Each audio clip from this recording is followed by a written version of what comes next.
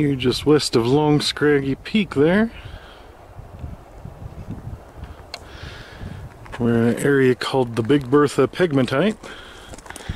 You can see on the ground here there's a lot of white quartz. We're on a massive hillside. This is the east side of the hillside. this area is well known for rare earth pegmatites, uh, uranium minerals, cerium minerals, yttrium minerals. And this is the massive cut that's been cut over the years. One of the largest cuts, pegmatite cuts, especially in this part of the Colorado.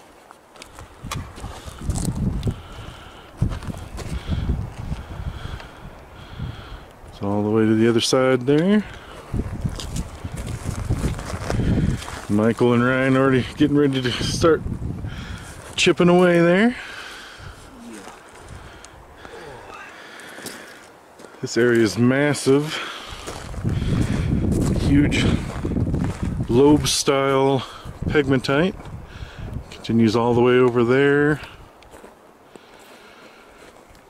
And all the way down the other side of this hill here.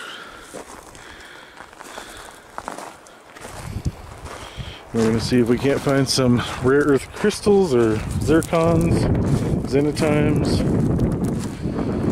a whole host of other rare minerals. Fluorite,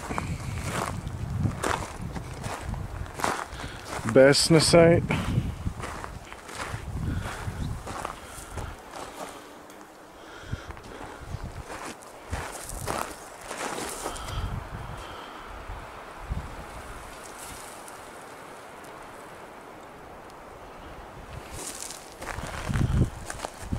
Lots of zones of white chunks of quartz. We're going to try and find uh, the minerals that are in there. We found a little bit of fluorite already, possibly some zircon, uh, some ugly zircons, nothing too pretty yet to show. This whole area has been uh, heavily dug up and messed with. so we just got to search and see what we got. Not even sure what that is. I have to take a closer look at that one. Show you have the other side of this here.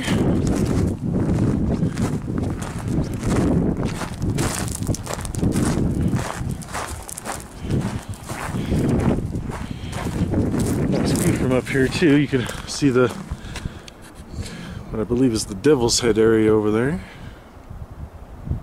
way over there.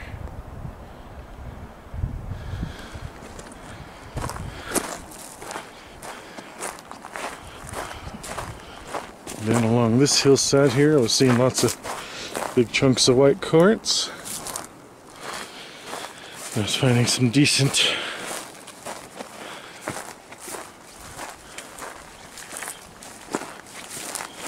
mica specimens or mica chunks along here.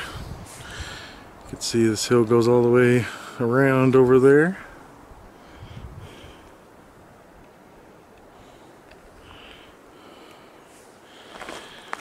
So yeah, this is a big area to explore, so uh, hopefully I'll get uh, some cool specimens found out of here. This place is relatively famous and heavily picked over, so a lot of stuff is gone, but uh, we'll see what we can find.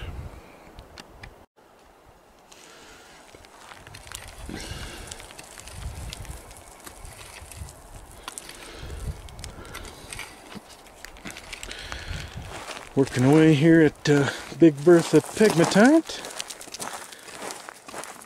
Spot's a little bit in the shade, so it might be a little hard to see on camera.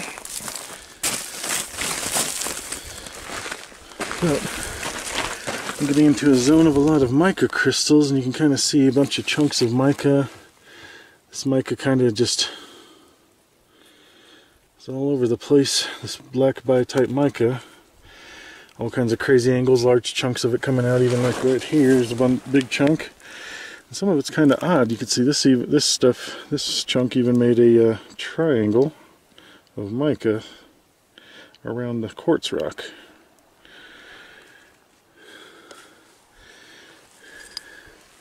Like this all right here is a big chunk of mica around here.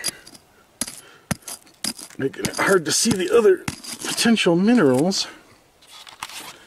I get this right here.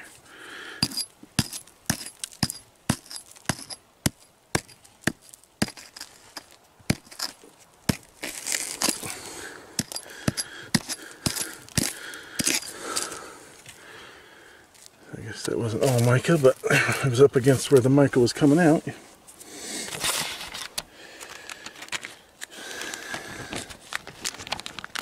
Michael over there has been pulling out some large chunks of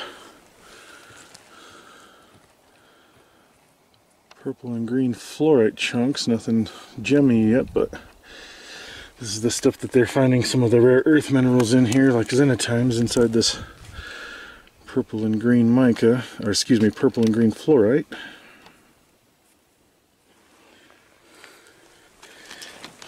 And I did find one decent find.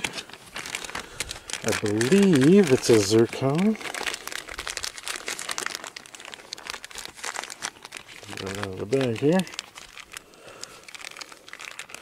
Sorry, now the camera's looking at the ground there.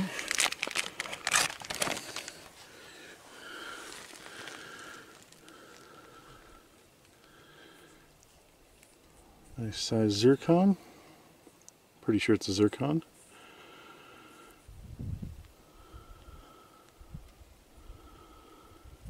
And that came out of just up like right in there, I think.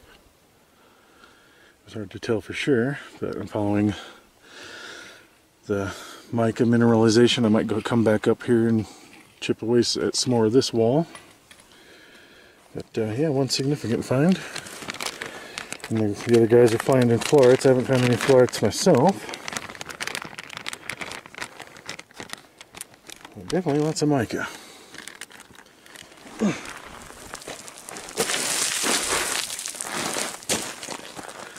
yes, a, a beautiful day here. The Big Bertha pegmatite. Ryan's up there so digging somewhere around there.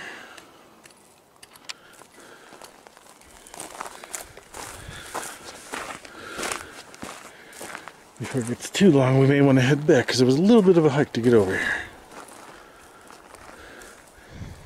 We came from the east, excuse me, the west side, way over there beyond those trees. So it'll take a little while to get back.